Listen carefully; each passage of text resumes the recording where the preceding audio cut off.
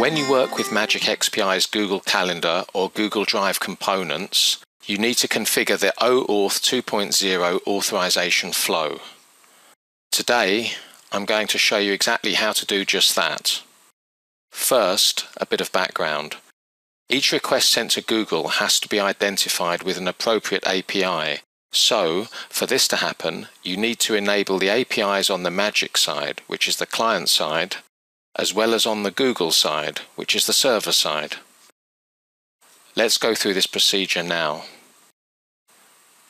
In the Magic XPI Studio, I'll create a new Google resource.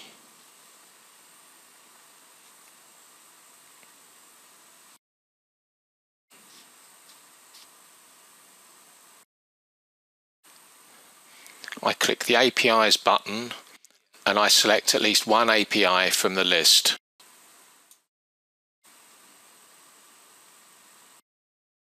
Now I'll open the Google Developers Console and log in.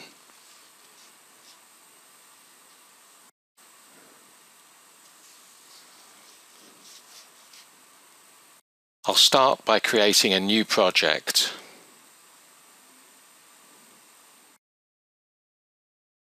In this example, I'll call the project Magic XPI.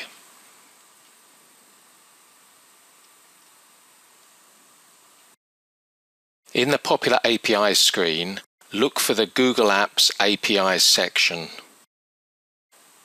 Here, you should select either Drive API or Calendar API, depending on which API you're using. In Magic XPI, I selected Calendar API so that's what I'll choose here.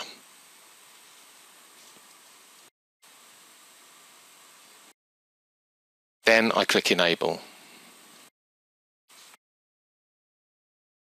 In the sidebar on the left, I click Credentials. Then I click the OAuth Consent Screen tab. I select my email address here, and in the product name shown to users parameter, I'll enter Magic XPI. You can actually enter any name you want here, but bear in mind that this is the name that you'll see on the consent page later on. The other fields are optional. Finally, I click Save. Now, I'll create a client ID. If the Credentials tab didn't open automatically for you, click Credentials in the sidebar on the left. I select OAuth Client ID from the Create Credentials drop-down list. Then I select Other and enter a name for the client ID.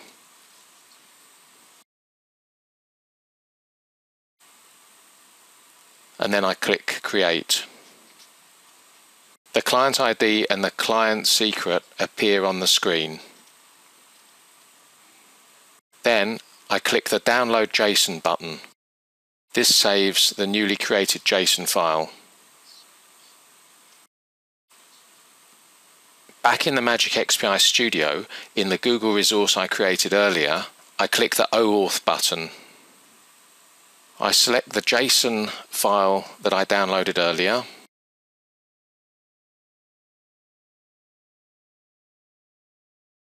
And then I click the auth URL button and a value appears here in the authorization URL parameter. Next, I click the Launch button to open the URL. In the consent page, you can see the application name that I defined earlier in the Google Developers Console. I click the Allow button and then I get redirected to a page containing a code. I copy this code and I paste it in the code parameter back in the studio and then I click OK. I then click the Validate button to verify that the authorization process was successful. I click OK to close the Google Resources window and I can now go ahead and use Magic XPI's Google connectors. Today I showed you how to configure the OAuth 2.0 authorization flow. I hope you'll join me again soon for some more magic.